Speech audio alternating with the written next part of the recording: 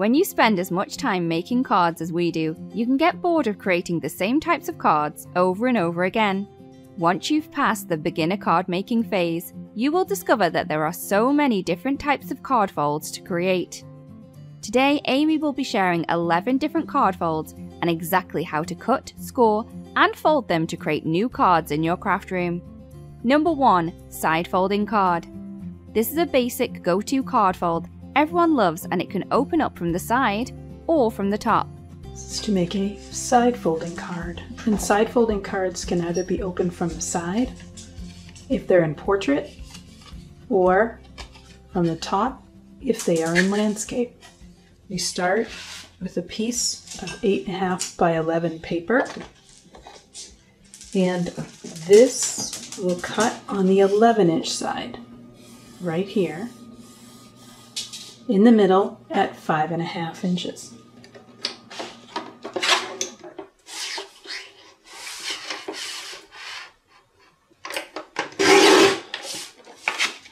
This will make two cards. Turn this, and we are going to score on the eight and a half inch side at four and a quarter.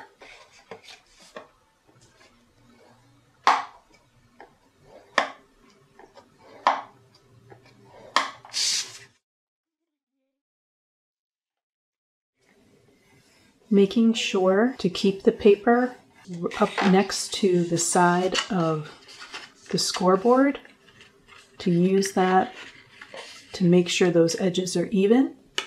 Refold and then reinforce the fold.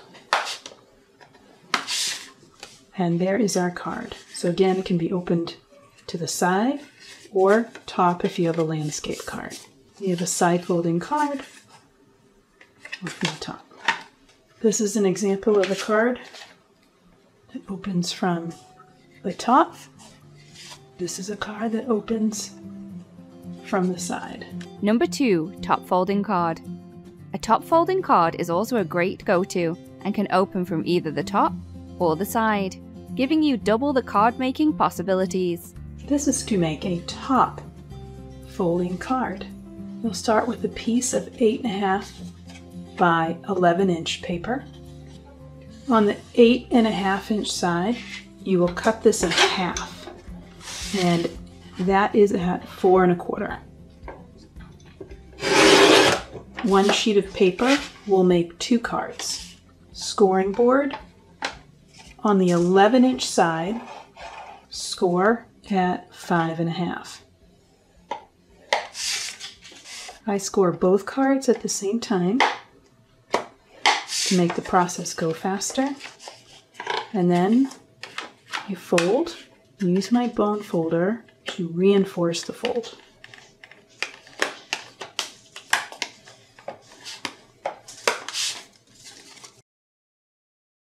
Now you can decorate your top folding cards. You can even use other colors other than white.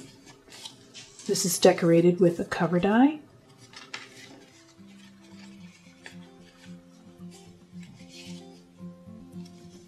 This is a top folding card that opens from the side. Another example of a top folding card that opens from the side. Example, top folding card. Number 3 Simple Stepper Card. This is a fun card to add lots of dimension and elements that can go in front and behind each other. This is to make a simple stepper card.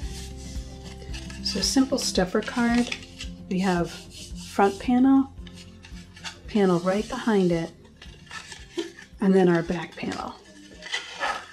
And those will fold up so you can see it like this. To make that, we're going to start with a piece of four and a quarter by 11 inches. And this is going to get scored at two inches at four inches and also at seven and a half inches. And my board doesn't go over, so I'm going to use my ruler and make a mark at seven and a half inches.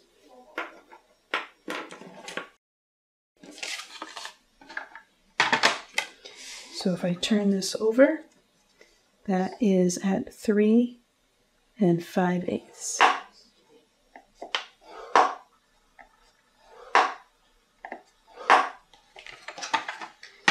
And then when I fold these,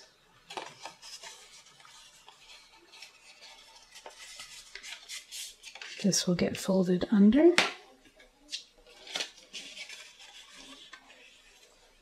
This will get folded up.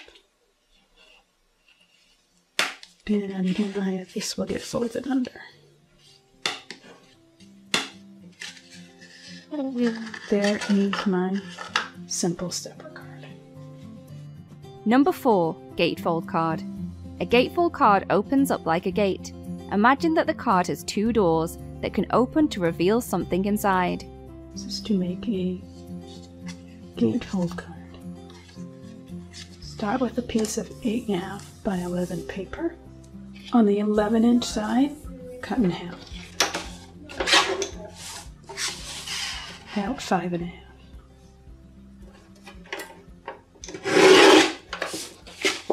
From this, we can get two gatefold cards. Turn the paper to the eight and a half inch side. Score two and an eighth from each end.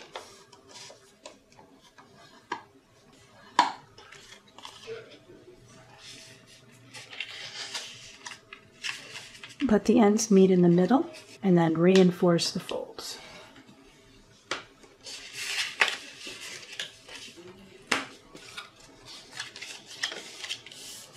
Okay, fold cards, you can put an image over the front and use a sentiment strip to keep them together. You can use a belly band to keep the pieces together. That belly band can be made out of vellum so your image can still show through, or that can be made out of paper with a sentiment. You can have a belly band of a die cut image. You can have a reusable belly band. This one turns into an ornament. This one has a die cut flower. This one allows the background to come through. Number 5 Aperture Card. An aperture card is a type of punched card with a cutout window that opens to a bigger surprise on the inside. This is for an aperture card. Start off with a card base, and you can use any die Use satin masking tape. Add die to your card and secure it in place where you want it. Open your card. Use your die cutting machine. Make sure card is open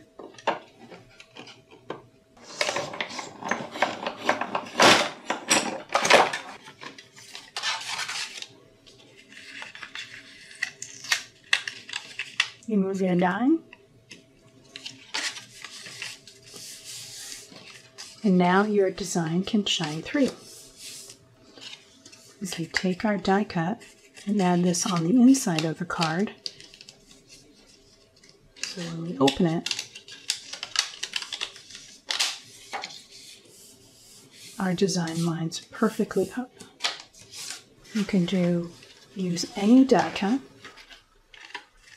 like this ice cream cone. And when it's opened up, there's a little surprise. You can use a tree.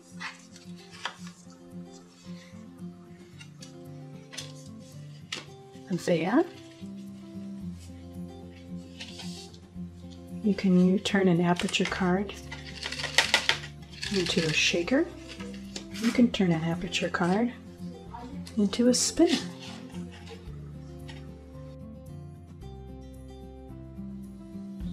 with a sentiment or a spinner with a shape like a circle.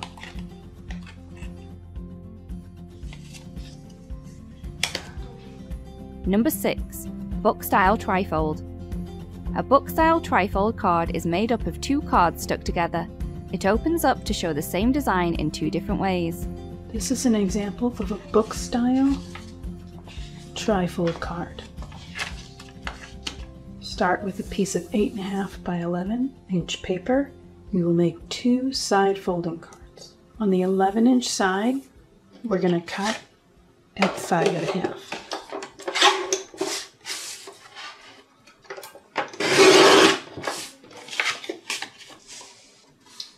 Each card is scored at four and a quarter.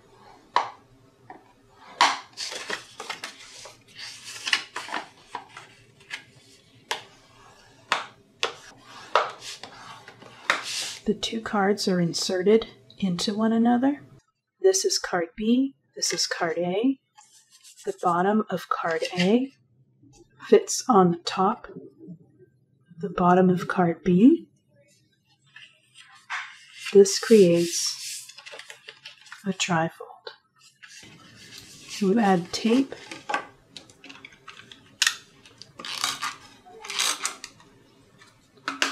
to the base of card B. Fit that in. And now you have a place for your front, an inside picture, and your message. Here we have a piece of vellum with the front and the sentiment, inside image, and a place for a message. Number 7. Easel card. An easel card is shaped just like an easel when it stands up on its own. This will make an easel card.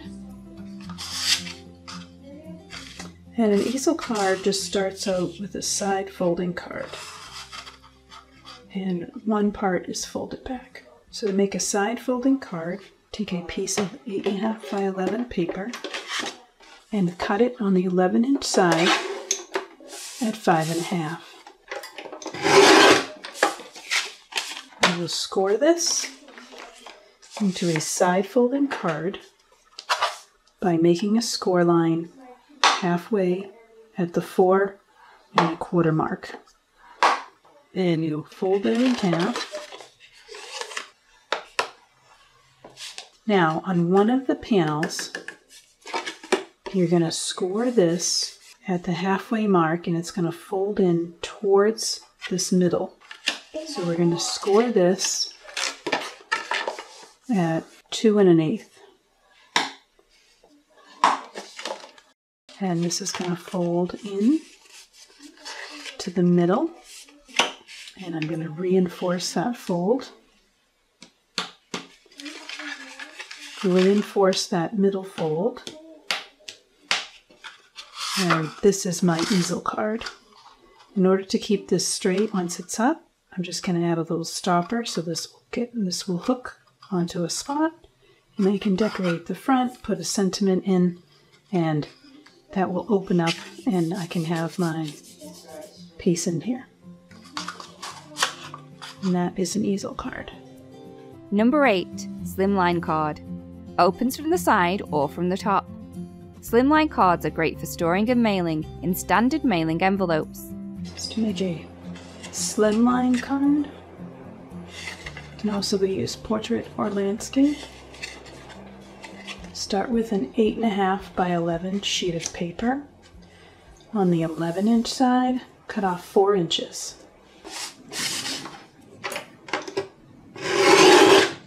This can be cut down and used as a front panel. So now you have 7 inches by 8.5 inches. On the 7 inch side, we're going to score in the middle at 3.5. The paper goes beyond the edge, so we're going to turn it around. So here's 3.5. I'm going to turn it, not over, but just turn it. Score at 3.5. Then I'm going to fold this in the middle. Make sure those edges line up. And reinforce my fold.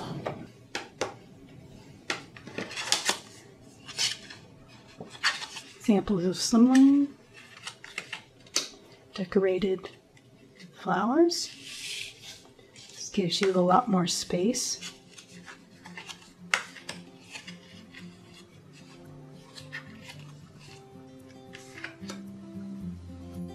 Number 9. Square card.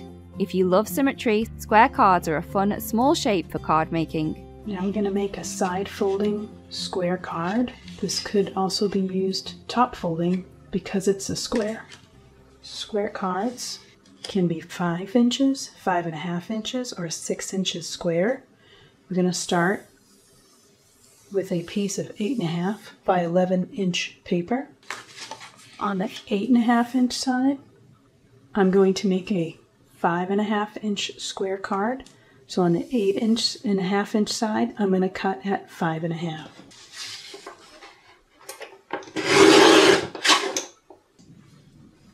This is the 11 inch side. I'm going to score in the middle at 5.5.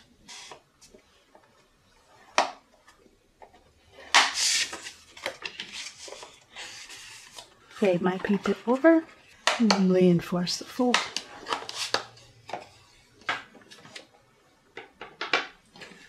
This is an example of a side folding square card.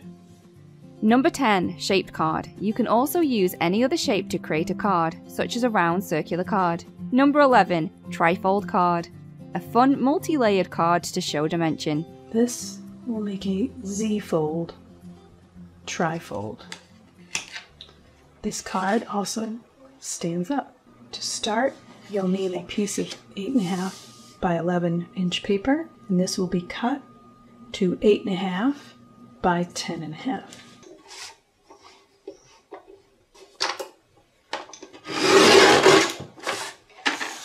On the 10.5 inch side, I'm going to score at 3.5 inches on both sides.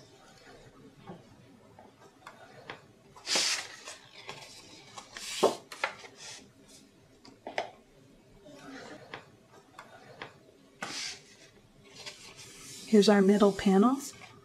This side will be folded away from the panel.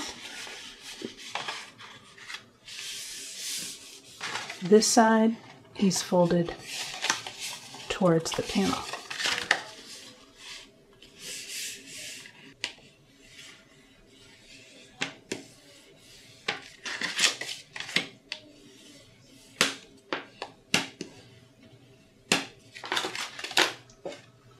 Gives the Z. From this panel, we can get two cards. On this side, I will measure down two and a quarter inches, make a mark. On this side, I will measure down six and a quarter inches and make a mark. And then I will connect those marks.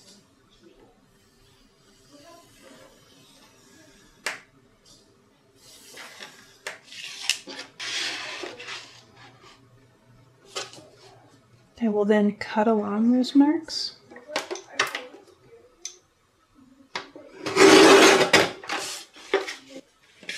And that gives you two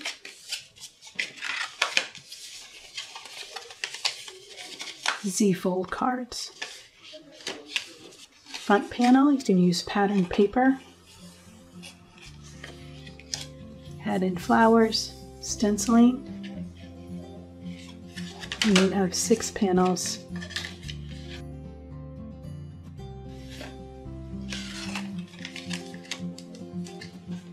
Are you feeling inspired to try out all of these new card folds in your craft room? Trying out different card folds definitely opens up so many different possibilities. Which card fold is your favourite? Please let us know.